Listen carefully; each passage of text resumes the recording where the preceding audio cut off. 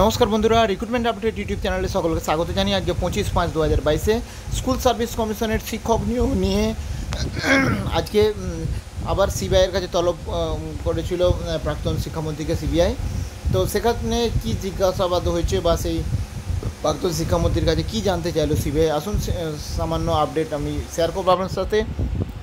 তো দেখে নেব বিস্তারিত কী রয়েছে, তার আগে বলি, যদি চ্যানেলটা এখনও সাবস্ক্রাইব করে না থাকেন প্লিজ সাবস্ক্রাইব করে নেবেন। নানা ধরনের লেটেস্ট আপডেট পাওয়ার জন্য, চাকরির খবর পাওয়ার জন্য শিক্ষাসঙ্গত খবর পাওয়ার জন্য। প্রায় সাত ঘণ্টা পর প্রায় সাত ঘণ্টা পর এসএসসি দুর্নীতিতে দ্বিতীয় দিনে পার্থ চট্টোপাধ্যায়কে ম্যারাথন জিজ্ঞাসাবাদ সিবিআইয়ের বয়ানের কপি পাঠানো হলো উচ্চপদস্থ আধিকারিকদের কাছে। তৎকালীন শিক্ষামন্ত্রী হিসেবে দায় এড়াতে পারেন কি? প্রাক্তন শিক্ষামন্ত্রী পার্থ চট্টোপাধ্যায়ের কাছে এমনই জানতে চায় সিবিআই সূত্রের খবর। আজ জিজ্ঞাসাবাদের হালো কৈকত প্রথম দফায় দু ঘণ্টা তারপর আধ ঘণ্টা ব্রেক ছিল। দ্বিতীয় দফায় সাড়ে চার ঘণ্টা জিজ্ঞাসাবাদ করা হয় প্রাক্তন শিক্ষামন্ত্রীকে।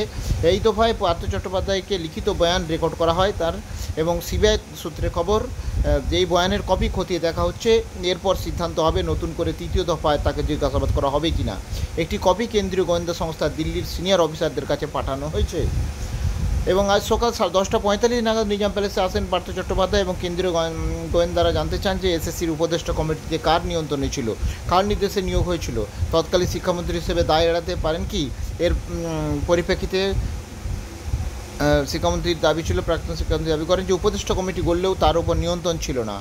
নিয়োগ প্রক্রিয়া সম্পর্কেও কিছু জানতেন না। খবর সিবিআই সূত্রের এদিকে এসএসসি দুর্নীতি মামলায় সুপ্রিম কোর্টে এখন হচ্ছে না পার্থ চট্টোপাধ্যায়ের আবেদনের শুনানি। হাইকোর্টের নির্দেশকে চ্যালেঞ্জ জানিয়ে সর্বোচ্চ আদালতের দ্বারস্থ হয়েছেন রাজ্যের প্রাক্তন শিক্ষামন্ত্রী। কিন্তু তার আবেদন প্রেক্ষিতে সুপ্রিম কোর্টে দ্রুত শুনানির সম্ভাবনা কম। আবেদনে বেশ কিছু ত্রুটি মিলেছে। আবেদন ত্রুটিমুক্ত করতে বলা হয়েছে। প্রাক্তন শিক্ষামন্ত্রী, আইনজীবীরা সংশোধিত আবেদন জমা দিলে সুপ্রিম কোর্টের গ্রীষ্মে অবকাশকালীন বেঞ্চে শুনানির সম্ভাবনা রয়েছে। এদিকে একটি রাজনৈতিক দলের তরফ থেকে হচ্ছে একটা অভিযোগ করা হয়েছে যে পিংলায় একটি স্কুল তৈরি করা হয়েছে এবং এই আয়ের উৎস কী? প্রশ্ন তুলেছে একটি রাজনৈতিক দল। তো যাই হোক আজকে আপডেটটা আমি শেয়ার করলাম। আর আপডেট পেলে অবশ্যই শেয়ার করব। সঙ্গে থাকবেন এবং চ্যানেলটা সাবস্ক্রাইব করে নেবেন। ধন্যবাদ।